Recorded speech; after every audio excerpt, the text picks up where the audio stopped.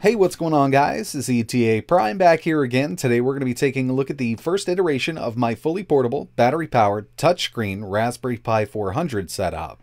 Now this one is a bit messy, but like I mentioned, this is my first iteration. I'm actually waiting on a couple more of these Raspberry Pi 400s to come in so I can start doing some internal modifications. But the way I have this set up right now requires no soldering, you don't have to open anything up, and it's basically plug and play. So the display I'm using here is a portable monitor from Pepper Jobs. It's the XtendTouch Pro. It's a 13.3 inch IPS display with touch built in. It looks absolutely beautiful, but I will admit it is a bit expensive for a build like this, and it wasn't purchased specifically for this build. It's just a portable monitor that I use. It has HDMI built in and USB Type-C input. Now with the touch setup, I do have to have three wires going to the Pi 400. We have one for touch, one for power, and one for HDMI. If you opted for a monitor without touch, all you would need is two wires coming off the Pi 400 because we don't need that USB to the monitor itself to enable touch. But I gotta say, this actually works out really well with the Raspberry Pi 400, and I completely understand that this is definitely not for everybody. If you already have a little laptop to carry around, that's probably what you're gonna be using, be it Linux or Windows. But I also know that there's a lot of people out there that are really interested in the Raspberry Pi, and specifically the new Raspberry Pi 400, so I figured I'd go ahead and get this video out of the way. I'm going to go over all the parts I used. We're going to go over how I set this up. It's super easy to do.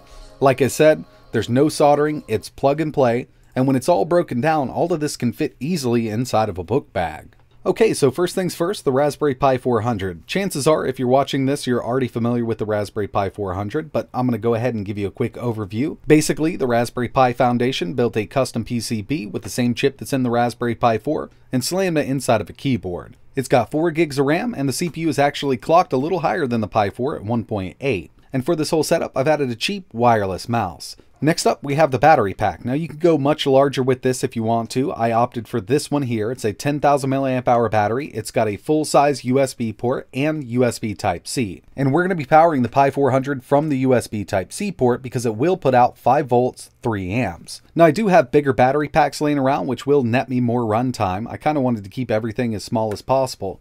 Plus, the smaller battery packs were recently on sale at my local Walmart for 8 bucks and I picked up 3 of them so I can keep these charged and just swap them out when I need to. Next on the list, I have my HDMI cable, also have a micro HDMI adapter to plug it into the monitor, USB Type-C to USB Type-C, and that's what's going to be powering the Pi 400. Power is going to be running directly from the USB Type-C port on the battery pack to the Pi 400.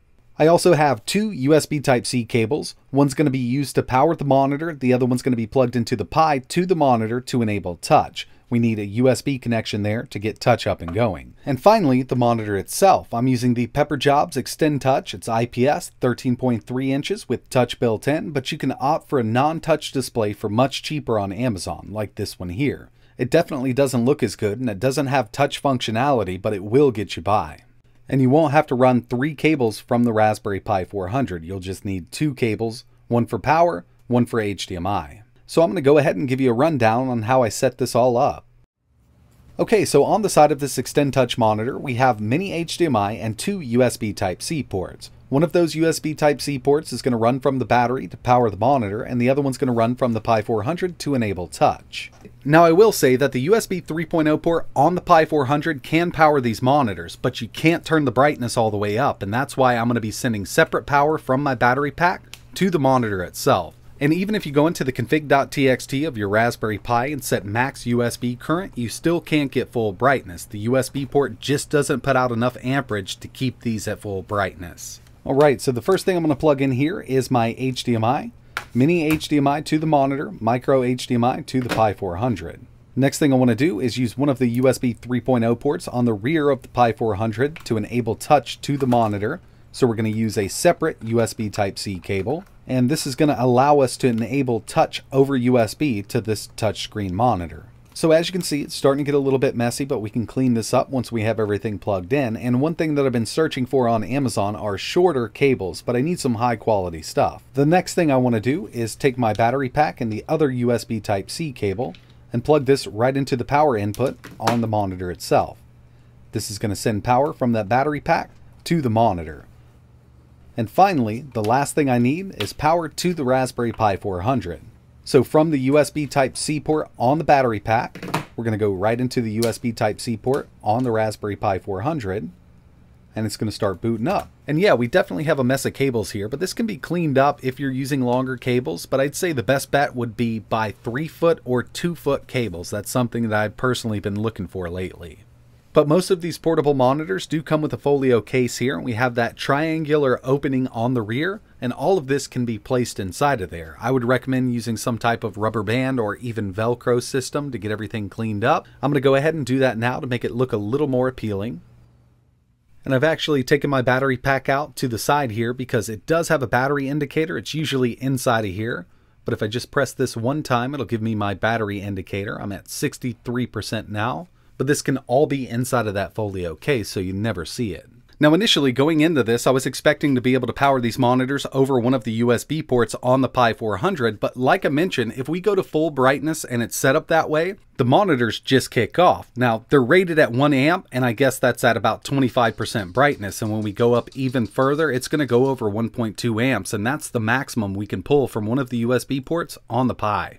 So I did have to end up adding that extra cable from the battery pack to power the monitor properly, but overall it really doesn't bug me. Now I can go full brightness with this and I don't have to worry about it pulling too much amperage from the Pi and shutting off. But it does work well like this and we're completely on battery power. The monitor and the Pi 400 are all battery powered right now you can actually pull this out of your backpack, all the little cables and everything like that, and have it set up in under a minute and a half. But I personally wouldn't recommend rushing out and buying everything to build something like this. I would spend my money somewhere else, like an inexpensive Chromebook or a laptop. But this was something that I wanted to put together since the announcement of the Pi 400, and I actually happen to have everything that you see here on hand, so I figured I could whip it up like it sits.